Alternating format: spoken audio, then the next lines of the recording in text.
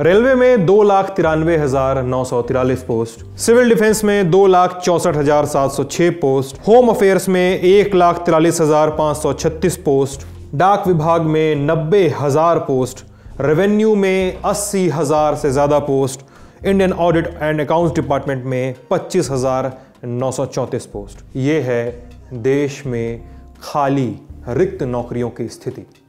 ये आंकड़े हमारे नहीं हैं। ये आंकड़े सरकार के हैं। जी हाँ आज, यानी तीन फरवरी 2023 को संसद में सुशील कुमार मोदी के सवाल के जवाब में जितेंद्र सिंह ने, कैबिनेट मंत्री जितेंद्र सिंह ने जवाब देते हुए भारत सरकार के पास खाली पदों का ब्यौरा दिया।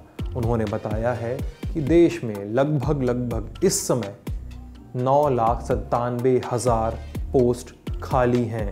ये आंकड़ा कल तक का नहीं है, परसों तक का नहीं है, ये आंकड़ा है एक मार्च 2021 तक का। अभी से लमसम 11 महीने पहले का। देश में इतनी नौकरियाँ अभी केंद्र सरकार के पास बची हुई हैं, इसको इस तरह से भी पढ़ा जा सकता है। मैं सिद्धांत आपको ये बताने की कोशिश कर रहा हूँ कि राज्यसभा में इस पूरे मुद्दे को लेकर सवाल जवाब क्या हुए। सुशील कुमार मोदी ने पूछा कि क्या देश के प्रधानमंत्री हमें बताएँगे कि 10 लाख लोगों को हर साल नौकरी देने के वादे का जो टारगेट था डिपार्टमेंट वाइज टारगेट था उसकी क्या स्थिति है? ये भी पूछा कि सरकार में इस समय वैकेंसी का क्या स्टेटस है? डिपार्टमेंट वार बताइए। ये भी पूछा कि S C S T O B C economic backward class और इकोनॉमिक वीकर सेक्शंस को लेकर कैटेगरी वाइज वैकेंसी की क्या स्थिति है? ये भी बताइए। Number of jobs targeted to provided to the person belonging to the schedule caste schedule tribe O B C economic backward class और इकोनॉमिक वीकर सेक्शंस इनको जो टारगेट सेट किया गया है जॉब देने का, जो 10 लाख नौकरियों में से उसकी क्या स्थिति है, ये भी बताइए। 10 लाख नौकरियों में से जितने लोगों को नौकरी दी गई है, उसका नंबर भी बताइए। और ये भी बताइए कि नेशनल रिक्रूटमेंट एजेंसी जो है, वो कब तक क्रियान्वयन की स्थिति में आएगी, कब तक ऑपरेशनल हो जाएगी। इसमें minister of state in the ministry of personnel and public grievances and pension and the minister of state in the PMO doctor Jitendra Singh का जवाब आया उन्होंने कहा है कि साहब नेशनल रिक्रूटमेंट एजेंसी एनआरए जो है, वो कॉन्स्टिट्यूट कर दी गई है और एनआरए ने एक डिटेल स्टडी की है रिक्रूटमेंट सिस्टम की, केंद्र के साथ और राज्यों के साथ, ताकि नौकरी देने की एक बेहतर प्रैक्टिस की जा सके। आगे वो बताते हैं कि रोज़गार मेला जो है, वो इवेंट ऑर्गेनाइज किए जाएँगे और ऑर्गेनाइज किए जा रहे हैं देश भर में ताकि केंद्रीय मंत्रालयों, विभागों और पब्लिक सेक्टर अंडरटेकिंग्स में और स्वायत्त बॉडियोज स्वायत्त बॉडीज और पब्लिक सेक्टर बैंक्स में रिक्तियों को भरा जा सके। उन्होंने ये भी बताया कि हम ब्यौरा दे दे रहे हैं किस डिपार्टमेंट में कितनी नौकरी खाली है। ये भी बताया कि कैटेगरी वाइज डिटेल जो है वैकेंसीज की, वो रिस्पेक्टिव मिनिस्ट्रीज डिपार्टमेंट और उनके संभागों द्वारा मैनेज की जाती है। और रोज़गार मेला जो है, वो उसके लिए और वो ये आशा कर रहे हैं कि रोज़गार मेला वो कंटिन्यू करेगा, आगे बढ़ता रहेगा, एक कैटलिस्ट की तरह कि ताकि नौकरियाँ दी जाएँ और सेल्फ एम्प्लॉयमेंट जनरेशन स्वरोजगार सरकार के मुद्दों में कई लंबे लंबे संवादों संवादों में ये बात आती रहती है, स्वरोजगार। स्वरोजगार और provide gainful service opportunities to the ten lakh youth over a period of one year और सो ये भी रोज़गार मेले के माध्यम से अचीव किया जाएगा। साथ ही उन्होंने एक मार्च 2021 कागज़ सामने है, राज्यसभा की वेबसाइट से लिया गया है।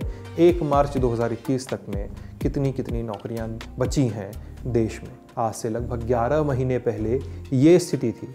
मैं लब्बो लुआब आपको बता देता हूँ, बाकी सारी जानकारी स्क्रीन पे चल रही इस लिस्ट में आप देख सकते हैं। एग्रीकल्चर रिसर्च एंड एजुकेशन में तेरह पोस्ट, एनिमल हस्बेंड्री में लगभग 1842 पोस्ट, एटॉमिक एनर्जी जैसे डिपार्टमेंट में 9460 पोस्ट खाली है।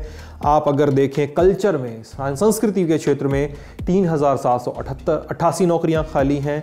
सिविल डिफेंस में, जैसा हमने आपको बताया, दो लाख चौंसठ हज़ार सात सौ छः पोस्ट खाली हैं। साथ ही अर्थ साइंसेज में तीन हज़ार से ज़्यादा पोस्ट खाली हैं। Environment forest and climate change में तेईस सौ पोस्ट खाली हैं। हेल्थ एंड फैमिली वेलफेयर में सत्रह सौ से ज़्यादा पद रिक्त हैं। अभी भी गृह मंत्रालय में एक लाख तिरालीस हज़ार पोस्ट खाली हैं। Indian audit and accounts department में पच्चीस हज़ार से ज़्यादा पोस्ट खाली हैं। साथ ही इंफॉर्मेशन एंड ब्रॉडकास्टिंग में 2000 इलेक्ट्रॉनिक्स एंड आईटी में 1500 से ज़्यादा पोस्ट खाली हैं। माइंस में, माइंस इंडस्ट्री में 7000 पोस्ट लेबर एंड एम्प्लॉयमेंट में ही लगभग 2400 पोस्ट खाली हैं। आगे बढ़ें तो personnel and public grievances and pensions 2535 post, जो मंत्री जी बयान दे रहे थे, उनके डिपार्टमेंट में ही साल भर पहले लगभग 2500 पोस्ट खाली थी। डाक विभाग में हमने जैसा आपको बताया, नब्बे हज़ार पोस्ट खाली हैं। रेवेन्यू में अस्सी हज़ार, रेलवेज में लगभग लगभग तीन lakh. To be very precise दो लाख तिरानवे हज़ार नौ सौ तिरालीस पोस्ट खाली हैं। वाटर रिसोर्सेज में रिवर डेवलपमेंट में गंगा रिजुविनेशन में 6,860 पोस्ट खाली हैं। स्पेस में 2100 पोस्ट खाली हैं। साइंस एंड टेक्नोलॉजी में पचासी सौ पोस्ट खाली हैं। हाउसिंग एंड अर्बन अफेयर्स में सत्ताईस सौ इक्यावन पोस्ट खाली है। ये है देश में खाली नौकरियों की स्थिति जो केंद्र सरकार के विभिन्न विभिन्न मंत्रालयों, विभिन्न विभिन्न विभागों और उनके संभागों में है। ये स्थिति और बड़ी हो सकती है अगर आप राज्यों तक जाएँ। ये स्थिति और बड़ी हो सकती है जब आप केंद्र शासित प्रदेशों में जाएँ। ये स्थिति और भी ज़्यादा भयावह हो जाती है जब आप निगमों, पंचायतों और सिविल बॉडीज़ का रुख करते हैं। कितनी नौकरियाँ हैं देश में? इन नौकरियों का एक ब्यौरा होना चाहिए, सरकारों की एक जवाबदेही होना चाहिए। स्वरोजगार, खुद का रोज़गार, खुद का काम के साथ साथ, सबके साथ साथ सरकार कितनी नौकरियाँ दे रही है, इसकी भी शिनाख्त पड़ताल और जवाबदेही तय होनी चाहिए। आप लल्लन टॉप देख रहे थे। बहुत बहुत शुक्रिया।